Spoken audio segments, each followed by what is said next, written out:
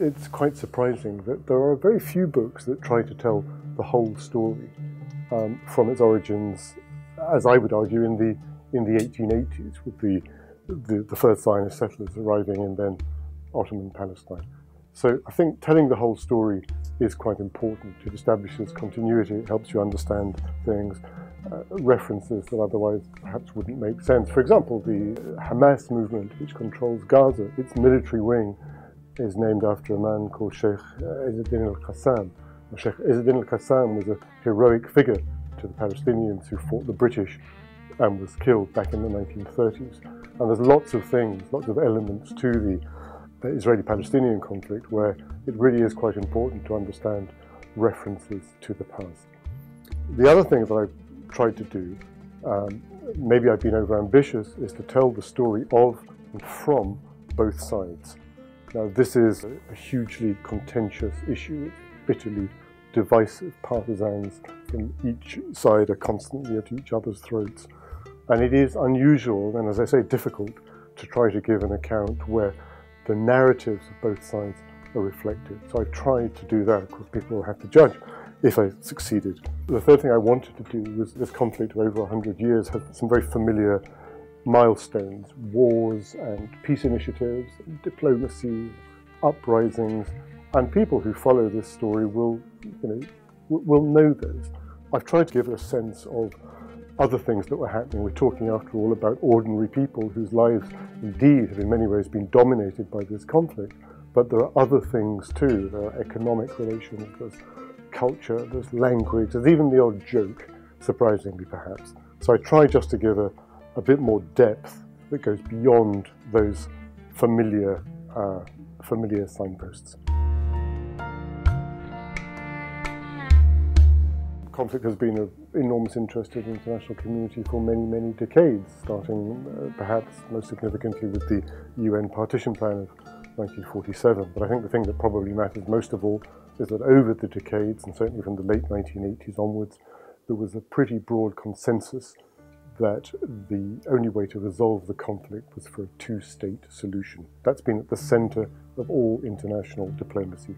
You had the Oslo Agreement of 1993, which looked promising at the beginning but ended up as a dead end. At the moment, under President Donald Trump, there's very little going on and hopes for progress are, are pretty much uh, at, a, at a nadir. There's no sense that there's any progress towards a solution, let alone even talks, the so-called peace process of so many years.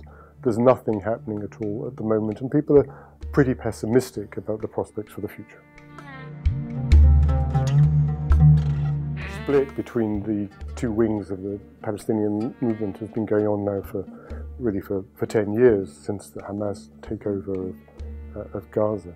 And there is actually at the moment, there are some signs that uh, hopes for reconciliation are going to work. There are lots of different reasons for this. Perhaps the most significant of those is the terrible situation in the Gaza Strip, where two million people live in conditions of isolation, siege imposed by the Israelis, the Egyptians, and of course by the Palestinian Authority run by uh, Mahmoud Abbas in uh, Ramallah.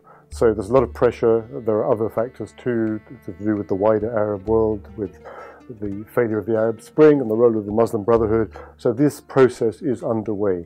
Um, it's getting quite a lot of attention. I think one has to be quite skeptical about it. Hamas is the Islamic resistance movement. Its raison d'etre is armed resistance against Israel. And inevitably, it's quite clear there's going to be a disagreement between Fatah and Hamas over the issue of weapons. So I'm not holding my breath. But what I think you see at the moment is a reflection of uh, Palestinians being in a corner and fairly desperate to get some kind of movement.